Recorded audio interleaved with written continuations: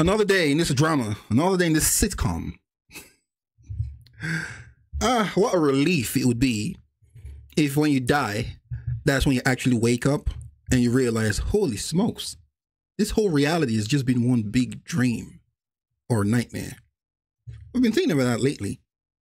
What if death is actually more life, the real life, and this is just the matrix?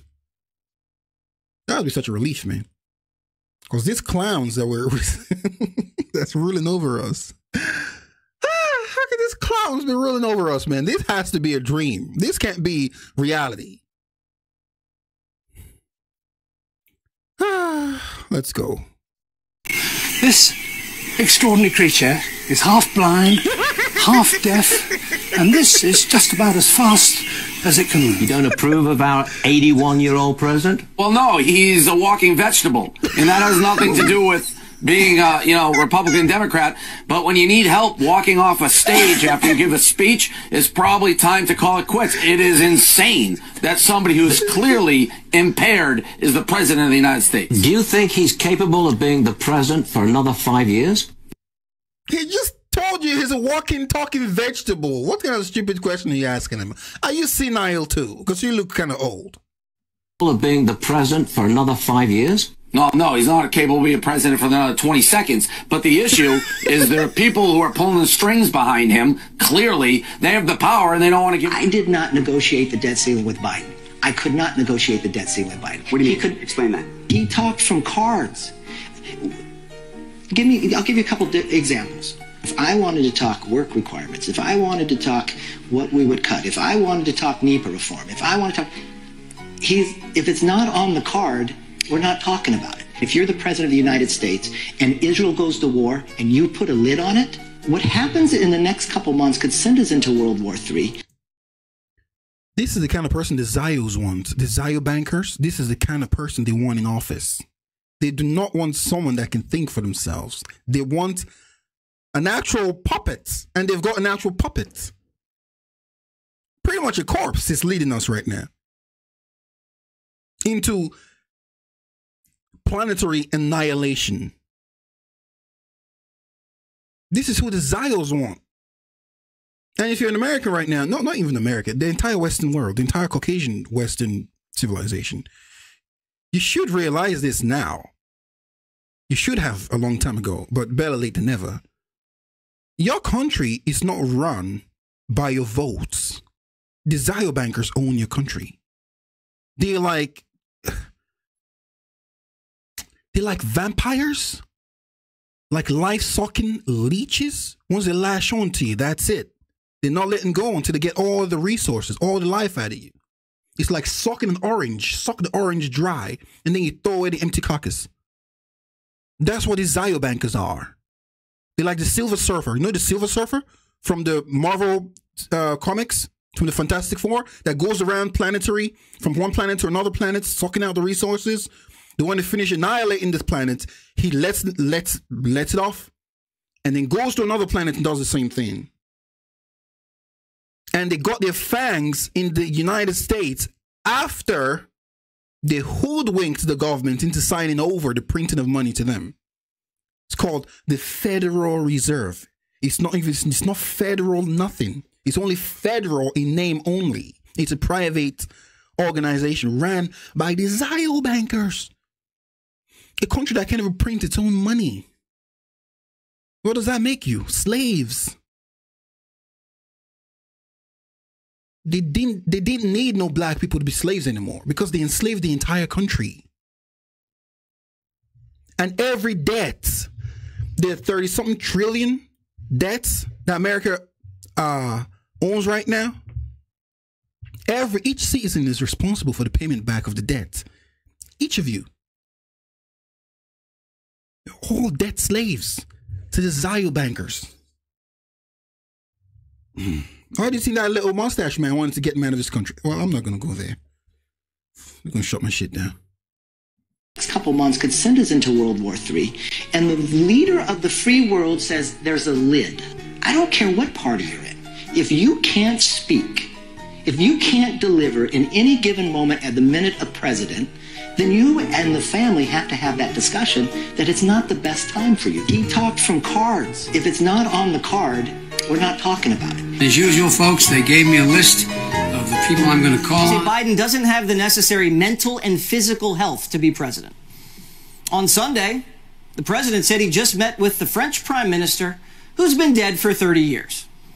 Right after I was elected, I went to a, what they call a G7 meeting, all the NATO leaders.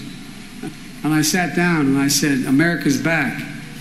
And Mitterrand from Germany, I mean, from France, looked at me and said, uh, said, you know, why, why how, how long are you back for? Biden sees dead people.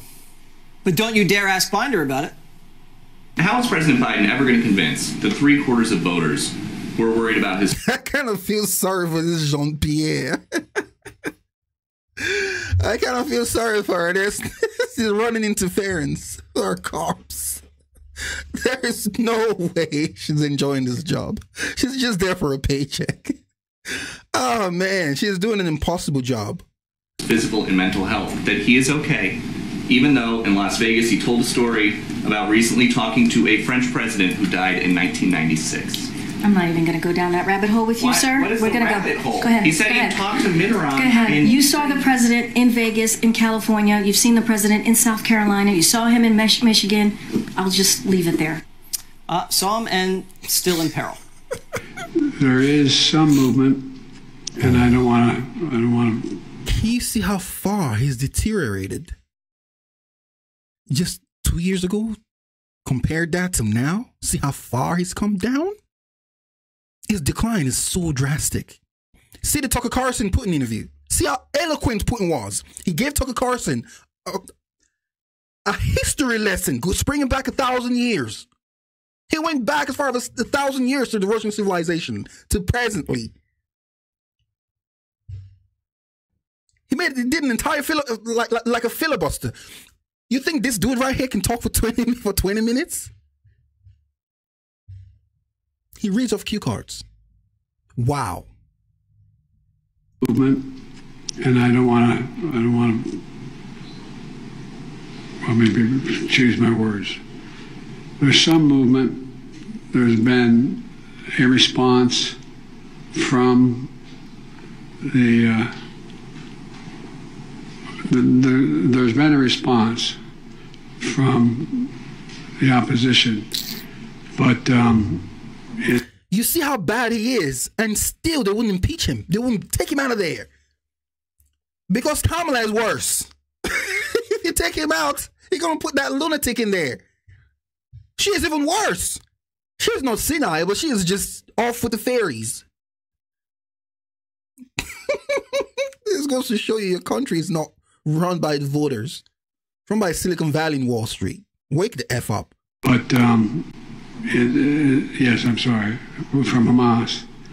But it seems to be uh, a little over the top. We're not sure where it is. There's a continuing negotiation right now. President Biden, something the special counsel said in his report is that one of the reasons you were not charged is because, in his description, you are a well meaning elderly man. So the special counsel said that, and he got vindicated off those charges or whatever, based on the fact that he's elderly and senile. Senile. So they've openly admitted that the president of the United States is senile, but he's still the president. Isn't that that if that if that's not grounds for impeachment? I don't know what is. This is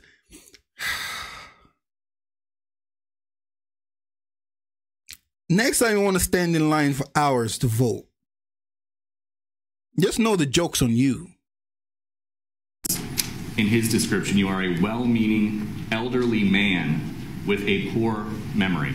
I'm well-meaning, and I'm an elderly man, and I know what the hell I'm doing. I've been president. I put this country back on its feet. I don't need his recommendation. It's How totally bad out. is your memory, and can you continue as president?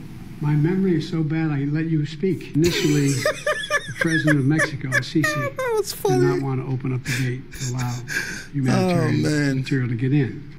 And I let you speak. Initially, the the president of Mexico, Sisi, did not want to open up the gate to allow humanitarian material to get in. I talked to him. Mexico? Mexico? Where did that come from? I mean, that's the only thing anyone's going to remember from this. Wait, Sisi. He's talking about opening up the border. Isn't that Egypt and Palestine? Was he talking about Mexico? Man, I, I'm I'm done trying to understand this guy, man. I'm. j- uh,